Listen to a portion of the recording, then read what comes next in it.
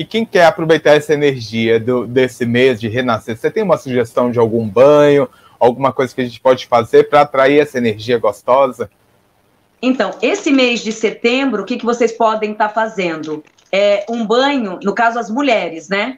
É sete rosas vermelhas. Acho que eu já ensinei o ano passado, eu adoro esse banho.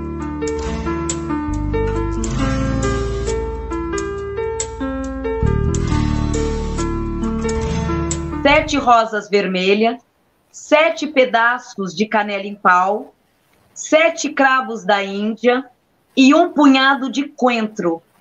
Ferve tudo. Esse banho é um banho de pombogira.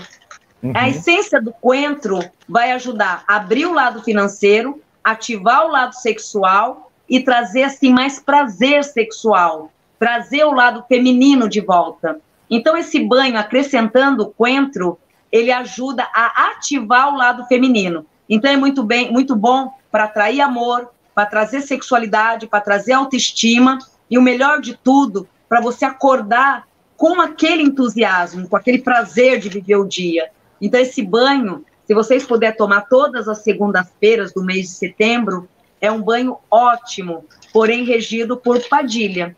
É um banho para trazer entusiasmo, tirar a depressão, tirar o lado do pessimismo, tirar aquele lado ranzento, que muitas mulheres são muito mal-humoradas, né? E às vezes não sabem nem por quê. Então tem aquele lado, bom dia porque reclama de tudo, nada tá bom, questiona tudo. Então isso quando começa a ocorrer no lado feminino, já significa que a autoestima já foi embora, já zerou. Então o que, que precisa? Precisa você trazer de volta o lado mulher. Porque senão, Deus me livre guarde, se você deixar essa energia se contaminar, você acaba aí se tornando uma pessoa depressiva, amarga, né? Nesse Esse ritual é de Exu. É só para mulher, Vandinha? Esse banho é só para mulher? Esse banho é só para mulher. Só para uhum. mulher. Inclusive, e nós, nesse, e nesse nós não vamos ter um banho para gente? Eu vou ensinar. Eu ensino. Esse é só para mulher mesmo. O homem não toma, porque não vai dar certo mesmo. O coentro, né? Ele traz muito lado. Do, o coentro na comida, no feijão, ele ajuda muito a vibrar o lado feminino, a trazer a sorte, a sexualidade, a autoestima. Então, procure aí aproveitar, explorar bem essa erva, né? Que é o coentro, tanto no banho quanto nos alimentos, vai ajudar muito. Lado masculino, os filhotes, o que, que vocês vão fazer? Vocês vão toda segunda-feira cortar sete pedaços, ou três, pode ser, ou três ou sete pedaços de espada de Ogum. Sete pétalas de rosas brancas, três anis estrelado, e vai ferver tudo isso. Após fervido, vocês coam. E tomem esse banho após o banho de higiene, do pescoço para baixo. E acenda duas velas, uma vermelha palito para Ogum, uma branca palito para Exu, pedindo ali que abra e que prospere os seus caminhos, tanto no amor quanto no financeiro. Esse é o banho masculino da primavera, que para homem vai ajudar muito também na sexualidade, principalmente homens que têm impotência sexual, isso ajuda muito, né? É, às vezes tem ereção precoce, aquela coisa toda muito desagradável, mas que infelizmente acaba ocorrendo. Esse banho ele ajuda muito e também a ter foco para atrair o dinheiro e para abrir os caminhos materiais. Muito bom lado masculino.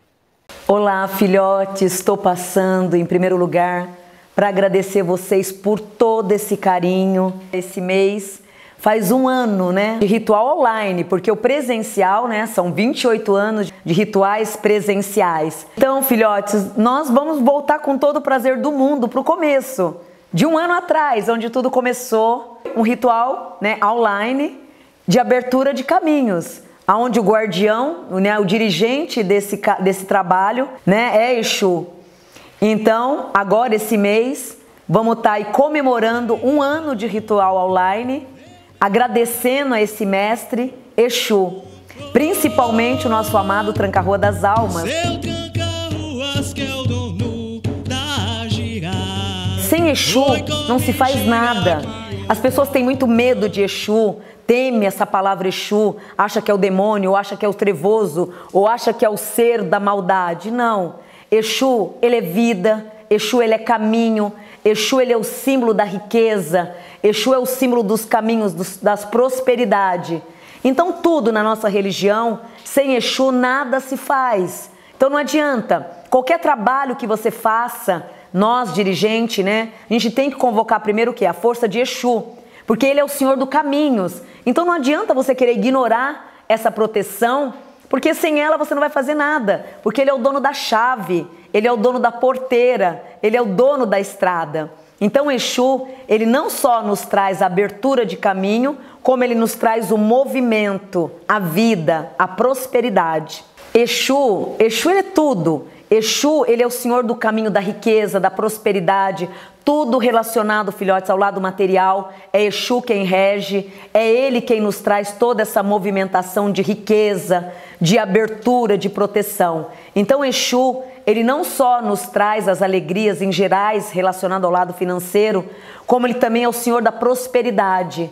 Então, a partir do momento que você traz Exu para a tua vida, automaticamente você está se livrando de inveja, olho gordo, obras de macumbaria, porque Exu, ele também, ele é o Senhor da defesa, da proteção, aonde nos livra também das energias de trevosos, energias de obsessores, energias de quizila, ou seja, Exu, a partir do momento que vocês cuidam de Exu, vocês têm essa ligação e essa proteção, né? É eles que nos guarda contra a inveja, contra cargas negativas, contra negatividades. Vai ser bom também nesse ritual, como eu prometi para vocês, que em todos os rituais eu vou estar tá ensinando um pouquinho de mirongas, mirongas simples e que feita com fé vai fazer um grande resultado.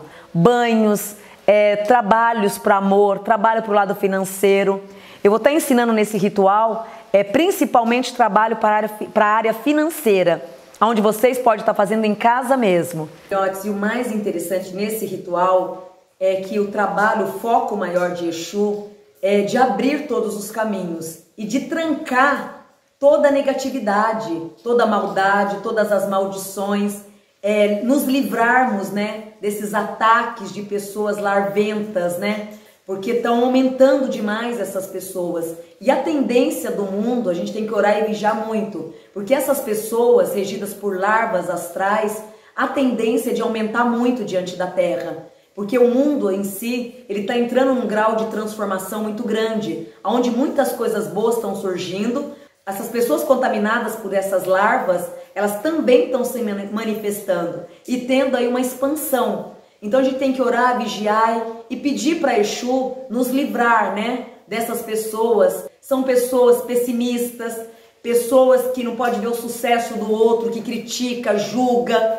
Então, de repente, você está ali é, clareando, estrelando, entra ali para te julgar, para te criticar, sem ao menos te conhecer. Porque elas não têm visão, eles não têm noção do que está acontecendo, porque são pessoas que já estão com o cérebro em si, o coronário, literalmente contaminado por essas larvas. Então eu digo assim, que em todo esse tempo de mediunidade, já lidei com obsessores, mas essa geração nova da espiritualidade, que são as larvas astrais, são as piores. São pessoas tóxicas que invadem a tua vida, te julgam, te criticam, se ao menos te conhecer e não pode ver você brilhando, que elas vão lá tentando te atrapalhar. É pior do que a inveja, pior do que o olho gordo. Entra agora essa nova praga, né, que chamamos, Deus me livre guarde, mas é uma nova praga que o universo está recebendo.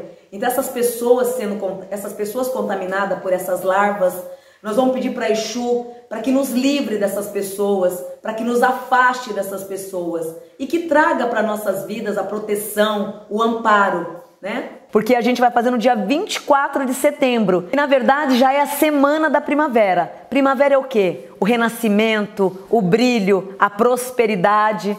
Então eu fiquei mais feliz ainda porque a gente vai fazer um ritual de caminho na vibração de Exu, numa lua maravilhosa e com a chegada da primavera. A primavera, na, nos rituais de magia, traz uma força muito grande. Porque todos vocês que querem a renovação, que querem o brilho, que querem a alegria, não tem coisa melhor que fazer os trabalhos na primavera. Então a primavera ela renasce, ela traz as flores, o encanto, o cheiro gostoso daquela natureza, né? Daquela primavera deliciosa. Então, esse ritual, melhor do que o ano passado, é com a entrada e na semana da primavera. Então, filhotes, eu conto com todos vocês para fazer parte desse ritual de caminhos com o nosso mestre Tranca-Rua das Almas. Ele é o dono da rua. Laro Exu. Exu é Mojubá.